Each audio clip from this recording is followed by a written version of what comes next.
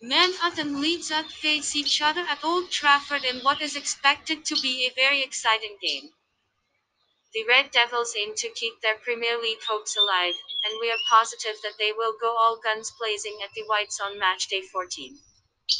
Man Ut have recorded only one win at home in the 2020-21 Premier League season, with the team beating Dover at the Theatre of Dreams.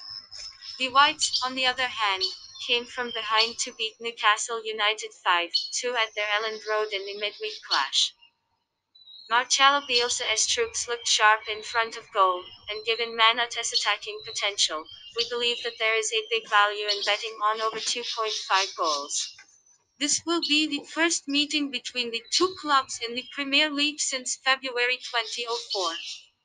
This match will be played on 20/12/2020 at 19:30. Prediction: 2 2